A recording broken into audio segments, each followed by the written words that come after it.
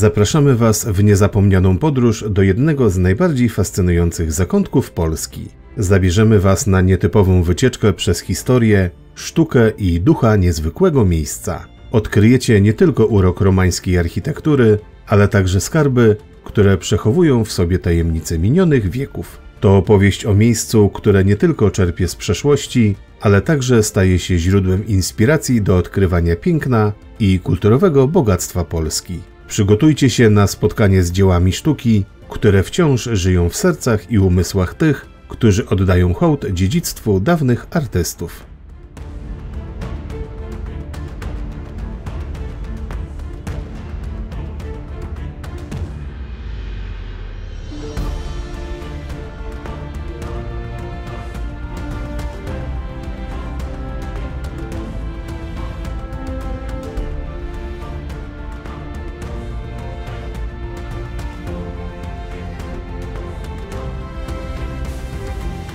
Dziś zapraszamy Was do magicznego Strzelna, położonego w województwie kujawsko-pomorskim.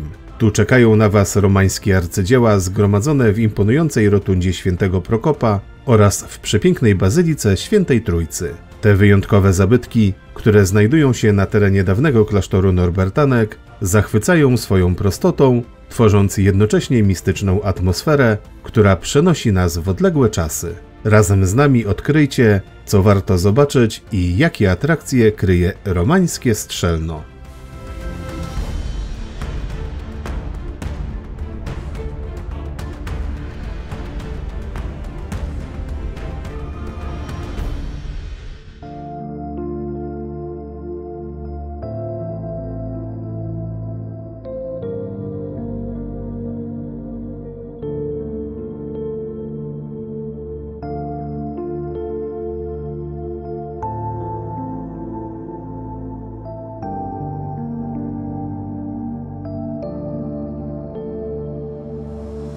Jak to się stało, że Małe Strzelno stało się jednym z najważniejszych skarbów historycznych w Polsce? Przejrzyjmy się tajemniczemu rozkwitowi tego miejsca w przełomowych latach XII i XIII wieku. Wówczas to Strzelno stało się domem dla jednego z najstarszych żeńskich zgromadzeń zakonnych w Polsce i jednocześnie pionierem w zakresie duchowego rozwoju kultury i sztuki. Norbertanki przez wieki z oddaniem kontynuowały tradycję swojego zgromadzenia, a także zebrały i zachowały cenne dzieła sztuki sakralnej. Klasztor w Strzelnie cieszył się wsparciem biskupów, wpływowych możnowładców, książąt i królów polskich. Trwało to aż do niszczycielskiego potopu szwedzkiego, a następnie równie rujnującej dla Strzelna wojny północnej.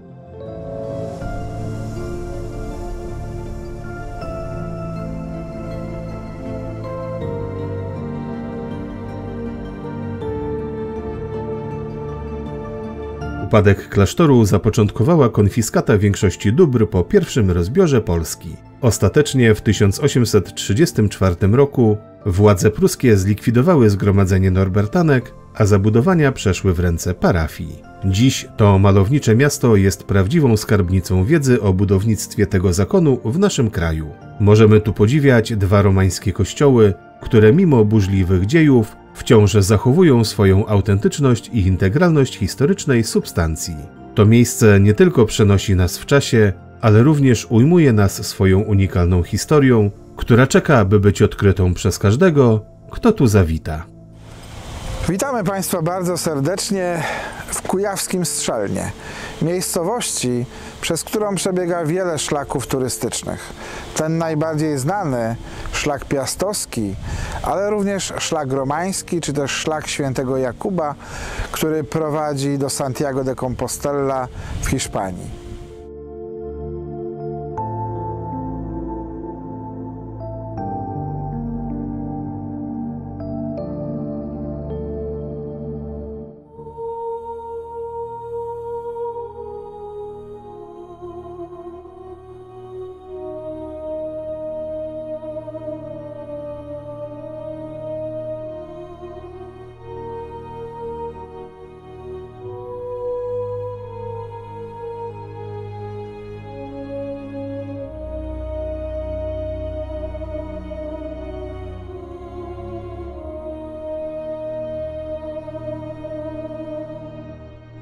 Naszą wizytę w Strzelnie zaczniemy od jednego z najbardziej znanych obiektów architektury romańskiej w Polsce.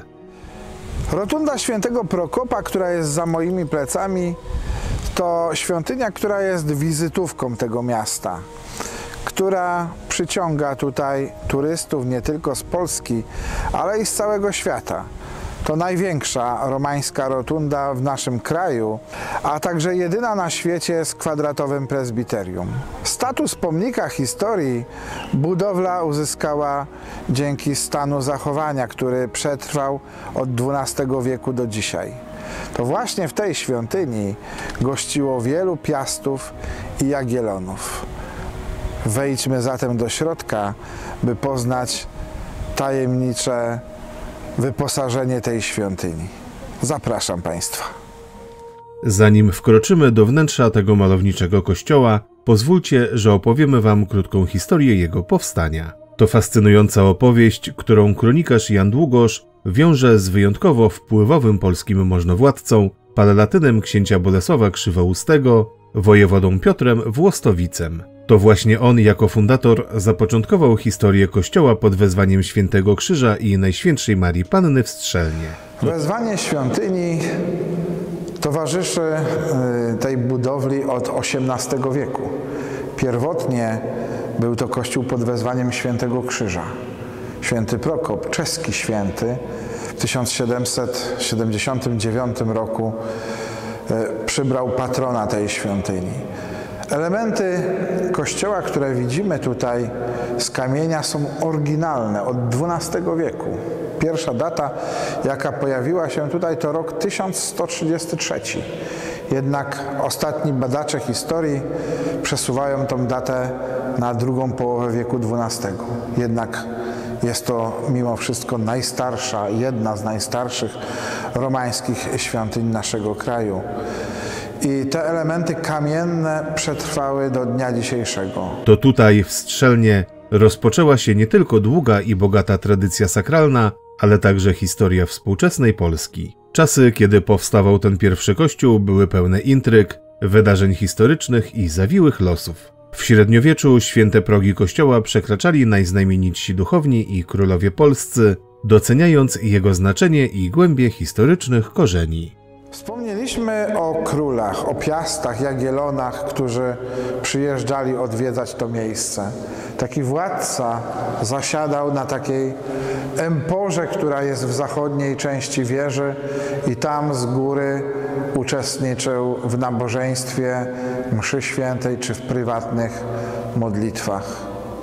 Dokumenty wspominają o kilku władcach o Władysławie Łokietku, Kazimierzu Wielkim, e, Władysławie Jagieło, Kazimierzu Jagielonczykowi, e, o również e, Sobieskim, że oni tutaj w tej świątyni uczestniczyli bezpośrednio, a także nadawali różne przywileje i prawa.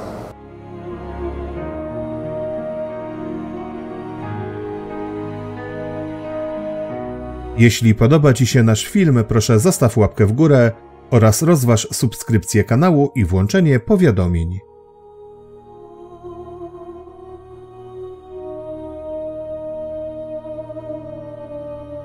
W okresie między XVI a XVII wiekiem dokonały się zmiany w świątyni. Wieża, która stanowiła jej górną część, przeszła gruntowną przebudowę, nadając budowli nowy wygląd. To jednak nie koniec przemian. W późniejszych latach kościół obudowano skrzydłem klasztoru i zaczął pełnić funkcję furty i refektarza.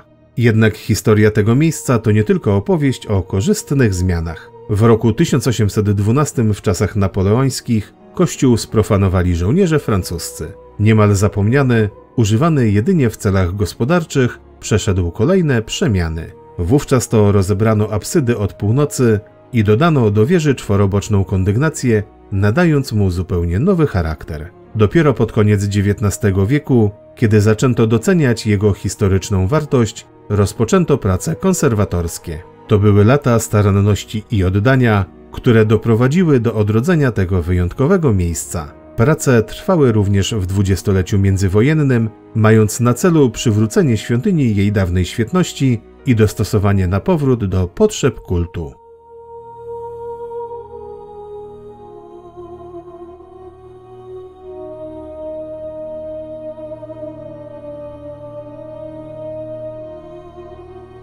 Pomimo skomplikowanych losów, kościół trwał nadal. Nawet zawierucha II wojny światowej, kiedy Niemcy ze świątyni zrobili sobie magazyn, y, przechowywali tutaj różne dokumentacje, broń, spisy ludności z obozów i postanowili te dokumentacje zniszczyć, podkładając materiały wybuchowe i podpalając świątynię. Zniszczeniu uległo sklepienie kopułowe, górne partie wieży oraz całe wyposażenie. Ściany przetrwały prawdopodobnie dlatego, że Grubość murów, moi drodzy, przy wejściu jest najcieńsza. Metr 10.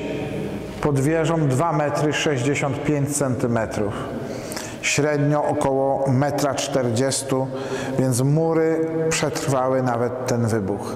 Elementy ceglane świadczą właśnie o tych zniszczeniach, bo w cegle dokonano tych rekonstrukcji. Prace konserwatorskie trwające w latach 1948-1952 odmieniły ten kościół, przywracając mu jego mistyczną i urokliwą atmosferę z czasów romańskich. Miejsce to przyciąga obecnie nie tylko wiernych, ale również staje się magnesem dla miłośników historii i kultury. Odkryjmy teraz razem piękno i tajemnice tej niezwykłej świątyni.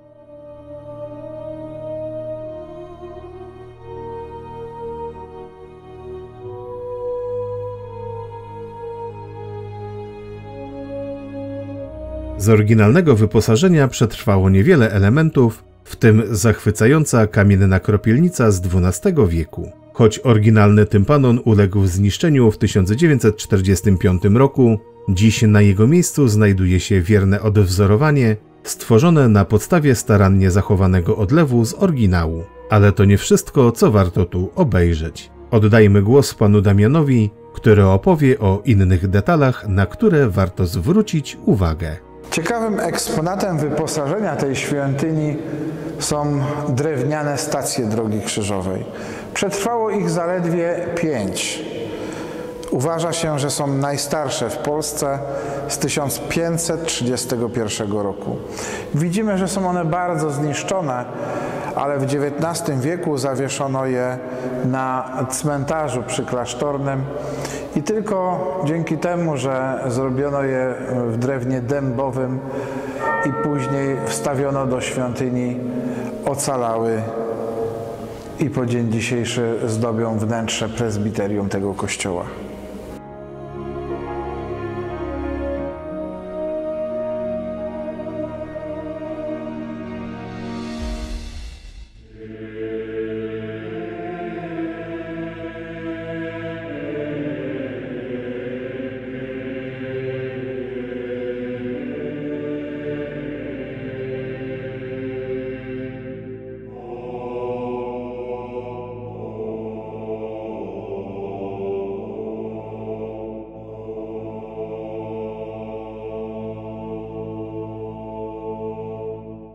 Bazylika Świętej Trójcy, majestatyczny skarb strzelna, powstała prawdopodobnie na przełomie XII i XIII wieku dzięki hojności Piotra Wszeborowca, wojewody kujawskiego i kasztelana kruszwickiego. Związana ona była ze sprowadzeniem do strzelna Norbertanek. W okresie panowania Kazimierza Jagiellończyka świątynia przeszła znaczną metamorfozę, przyjmując wówczas gotyckie oblicze. Jednak to nie była ostatnia przemiana bazyliki. W XVII i XVIII wieku, po zniszczeniach potopu szwedzkiego i wojny północnej, przeszła ona kolejne znaczące zmiany. Świątynię wzbogacono o elementy barokowe. Wtedy też obmurowano romańskie kolumny, które stanowią obecnie jeden z największych skarbów kościoła, ale o nich opowiemy za chwilę. Następne lata przyniosły jedynie konieczne naprawy.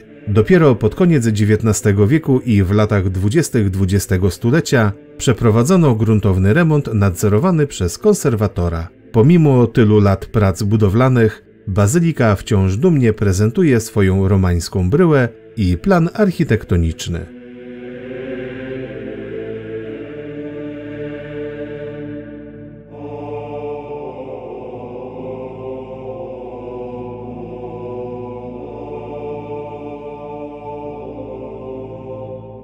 Jednak to, co najciekawsze, znajduje się wewnątrz kościoła. Ale o największych skarbach bazyliki opowie Wam już znawca i przewodnik postrzelnie, pan Damian.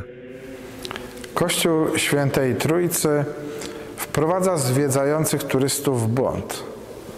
Otóż w XVIII wieku e, zmieniono fasadę tej świątyni na barokową. Bardzo podobna fasada znajduje się w Świętej Lipce, tylko w różowym kolorze. Natomiast u nas jest taki słoneczny. Kościół Świętej Trójcy jest budowlą romańską, tak jak rotunda Świętego Prokopa. Zbudowany jest jako trójnawowa bazylika z transeptem, czyli nawą poprzeczną, tworząc charakterystyczny krzyż łaciński. Cały ten plan zachowany jest praktycznie do sklepień. Do sklepień jest to obiekt romański. Pierwotnie obelkowany y, drewnianymi belkami, które w XIII wieku spłonęły podczas najazdów krzyżackich i wtedy powstało te sklepienia gotyckie, gwiaździste, krzyżowo-żebrowe.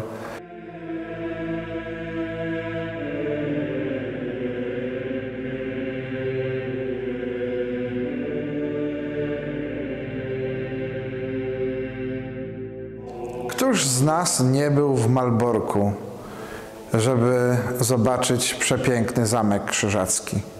Tam między innymi możemy zobaczyć przepiękne, znane w całej Polsce sklepienia palmowe. Ale i takim sklepieniem starszym niż w Malborku może pochwalić się Strzelno.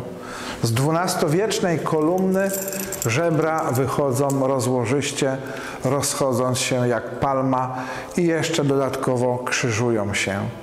Jest to jedno z najstarszych w Polsce sklepień krzyżowo-żebrowych opartych na górtach.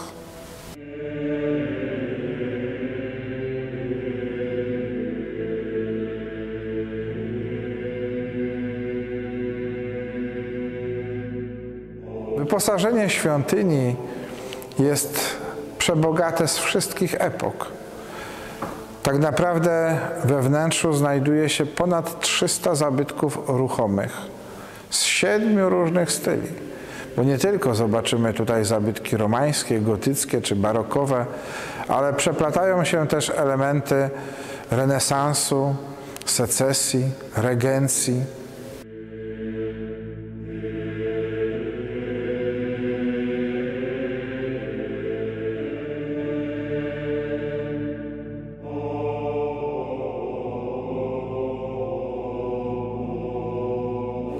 najcenniejszych romańskich zabytków szlaku piastowskiego i naszego kraju są romańskie kolumny ze Strzelna. Szczególnie dwie z nich, bo siedem znajduje się w tej świątyni, są tak cenne. Kolumna cnót, przy której yy, znajduje się, na tej kolumnie wyrzeźbiono takie alegorie jak sprawiedliwość, mądrość, wiara, pokora, posłuszeństwo. Oraz po przeciwnej stronie północnej mamy alegorię przywar, krzywoprzysięstwo, morderstwo, gniew, pycha czy rozpusta. Podobne kolumny możemy zobaczyć jedynie w Santiago de Compostela w Hiszpanii i w Bazylice Świętego Marka we Włoszech.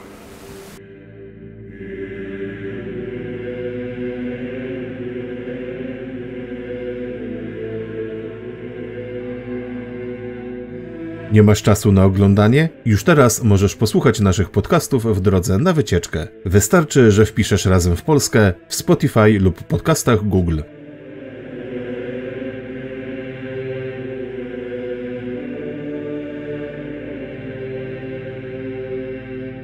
Do Strzelna pielgrzymowano już w XII wieku.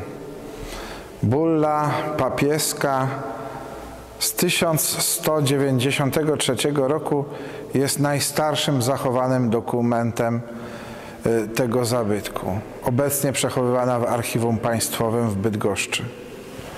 Po dzień dzisiejszy szlakiem świętego Jakuba wędruje tutaj wielu pątników. Pątnicy ci odwiedzają ołtarz Krzyża Świętego, który jest największym w Polsce relikwiarzem. W jednym ołtarzu zgromadzono 658 relikwii. Natomiast w jednej i w drugiej świątyni znajduje się ich ponad tysiąc. To najwięcej można powiedzieć, w tym regionie, a w Polsce więcej relikwii jest tylko w Krakowie, ale w 140 kościołach.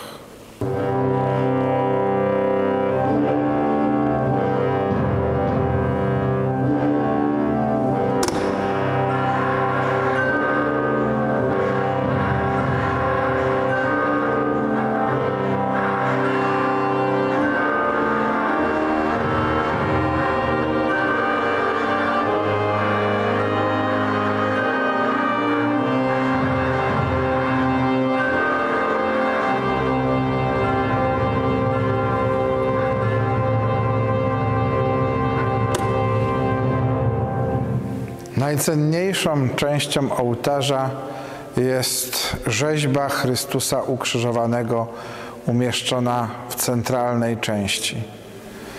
Chrystus ten wykonany w drewnie lipowym datowany jest na rok 1361. To ponad 650 lat kultu i tradycji w tej miejscowości.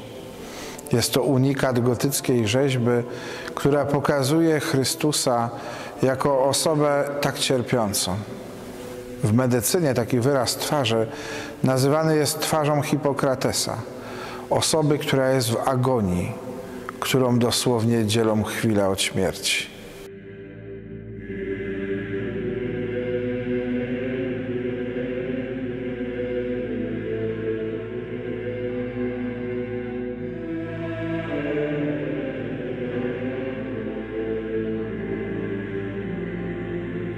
Zakrystia Bazyliki Świętej Trójcy skrywa kolejne skarby sakralne tego miejsca. Parę lat temu na ścianach zakrystii odkryto przepiękne malowidła. Zobaczymy tutaj sceny biblijne, wyłowienia Mojżesza z rzeki, rozmnożenia chleba, wesele w Kanie Galilejskiej, wyprowadzenie ludu z Egiptu, czy też karmienie przez kruki chlebem proroka Eliasza.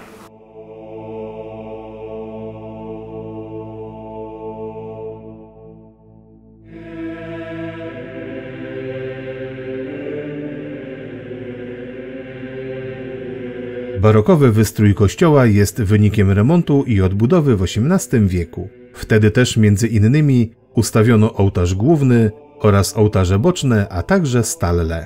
Najcenniejszym zabytkiem barokowym tej świątyni są konfesjonały, które jeszcze 24 lata temu były pomalowane brązową olejną farbą.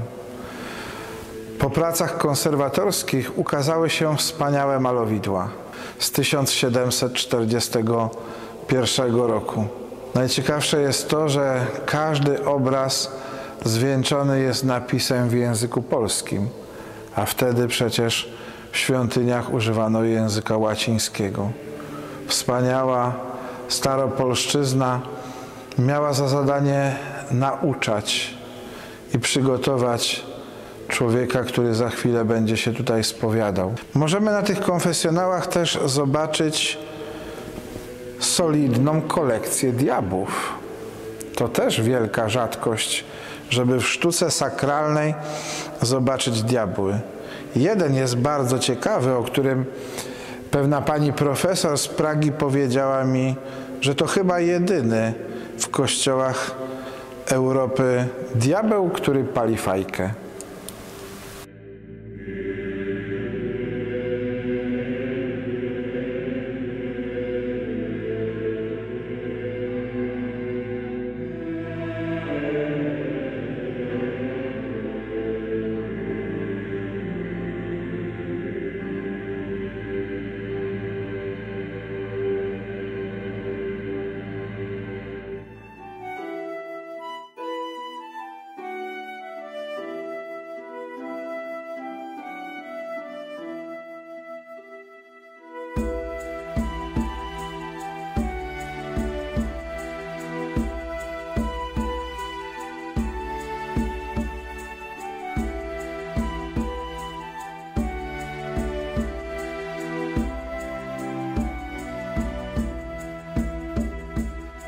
Na zakończenie zabieramy Was do niewielkiego, ale pełnego skarbów muzeum przy parafii. gdzie odkryjecie niezwykłe tajemnice przeszłości. To magiczne miejsce, ukryte w zachowanym zakątku dawnych zabudowań klasztoru Norbertanek, przechowuje skarby naszej kultury. Tutaj, otoczeni historią, odkryjecie największą w Polsce kolekcję rzeźby romańskiej. Wśród licznych eksponatów zobaczycie fascynujące detale architektoniczne oraz płaskorzeźby, które stanowiły niegdyś wyjątkowy rzeźbiarski ornament. Nie brakuje tu także tajemniczych głowic dwóch romańskich kolumn oraz skarbów archeologicznych odkrytych podczas badań. Szczególnie fascynująca jest górna część płyty nagrobnej z kościoła świętego Prokopa, na której ukazana jest głowa zmarłego młodzieńca. Ponad nią unoszą się dwie anielskie istoty, niosąc jego duszę ku niebu na misternie zdobionej chuście. To prawdziwy skarb naszego dziedzictwa i jeden z najstarszych polskich nagrobków,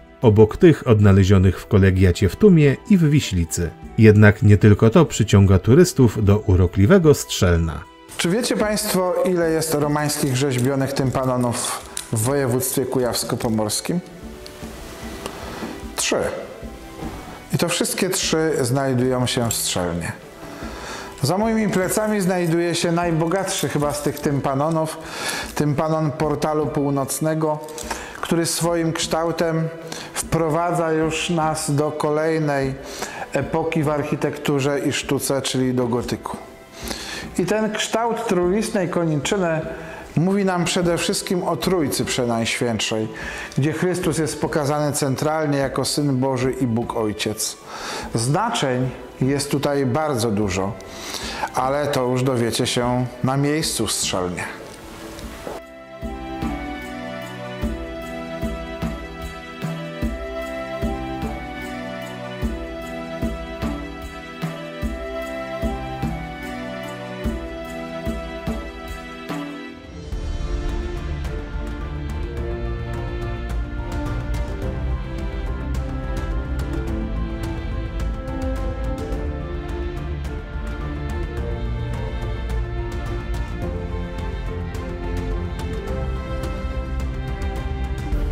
Niezależnie od pory roku, romańskie strzelno warto odwiedzać. Czy to w sezonie turystycznym, latem, jesienią, ale także i zimą. Można tutaj w tej świątyni zobaczyć te przepiękne romańskie cuda architektury i sztuki. Zapraszamy.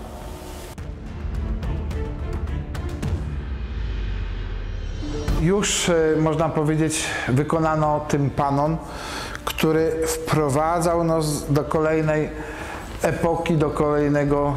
Nie, to muszę jakoś jeszcze raz powiedzieć. Trochę się tu coś tam za...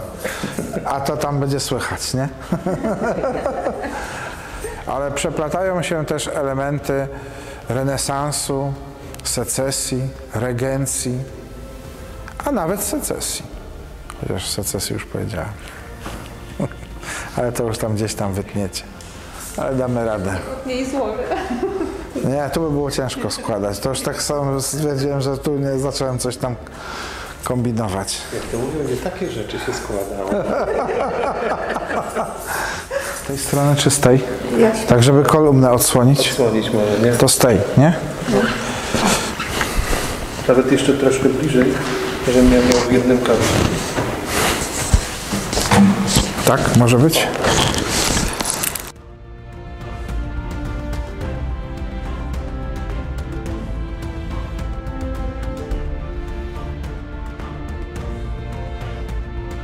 Dziękujemy, że obejrzeliście cały film. Proszę zostawcie łapkę w górę, piszcie w komentarzach o waszych wrażeniach, podzielcie się nim ze znajomymi i pamiętajcie o subskrypcji.